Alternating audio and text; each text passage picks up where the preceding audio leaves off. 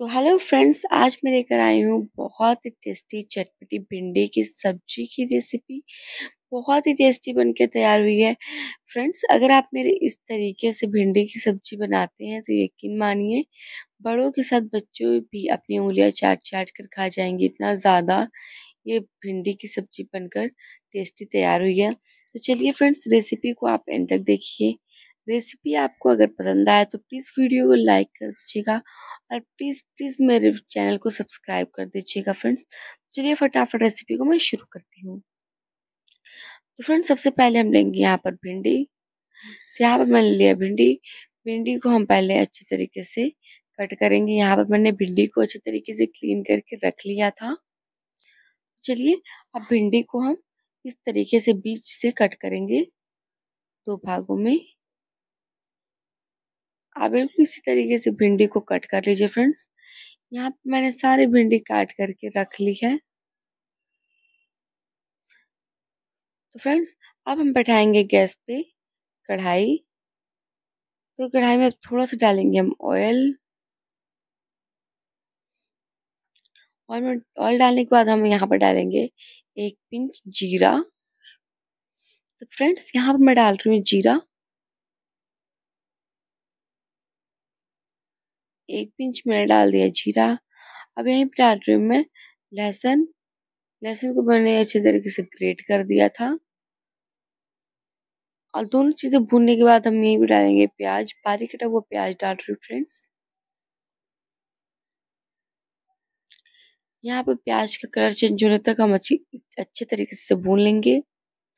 जब प्याज का कलर चेंज हो जाए तो जो हमने भिंडी काट रखी है, भिंडी को हम इसी कढ़ाई में डाल देंगी।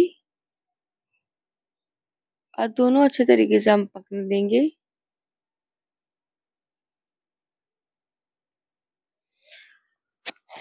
देख सकते हैं, भिंडी अच्छी तरीके से पक रही है। आप क्या करेंगे, कुछ मसाले ऐड कर देंगे।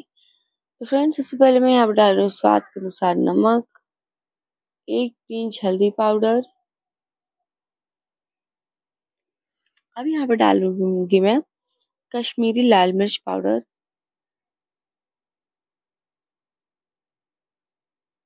और इसे अच्छे तरीके से हम चला देंगे।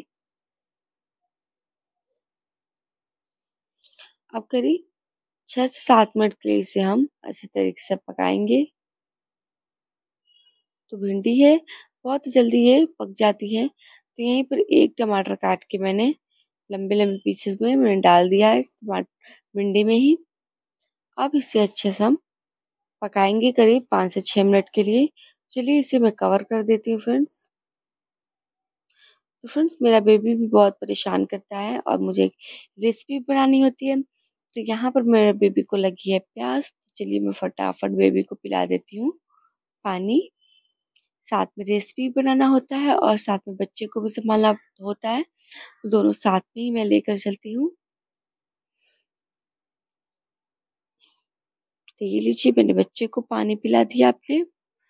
और मुझे भी प्यास लगी थी तो मैं भी थोड़ा पानी पी लेती हूँ। मेरा बेबी बहुत ज़्यादा शरारती है तो बहुत परेशान करता है।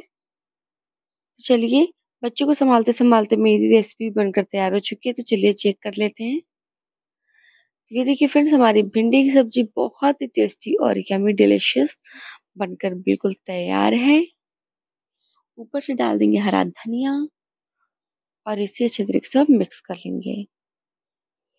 तो हमारी चटपटी सी भिंडी बिल्कुल बनकर तैयार है।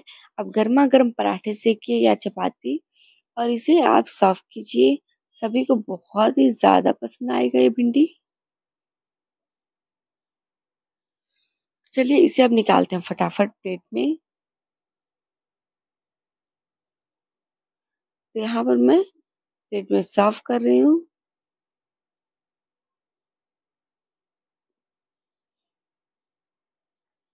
ले लीजिए, हमारी मस्त वाली भिंडी बनकर तैयार है फ्रेंड्स। फ्रेंड्स, अगर आपको रेसिपी अच्छी लगी हो तो प्लीज़ प्लीज़ वीडियो को लाइक और चैनल को सब्सक्राइब कर दीजिएगा। तो फ्रेंड्स, यहाँ पर मैंने पराठे रख लिए और भिंडी की सब्ज़ी, और इसे आप इंजॉय कीजिए, ज़रूर बनाइएगा। इस तरीके की भिंडी सभी को बहुत ही ज़्यादा पसंद आएगा।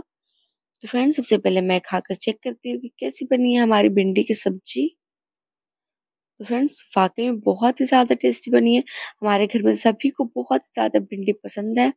तो फ्रेंड्स ज़रूर ट्राई कीजिए रेसिपी अच्छी लगी तो प्लीज़ वीडियो को लाइक चैनल को सब्सक्राइब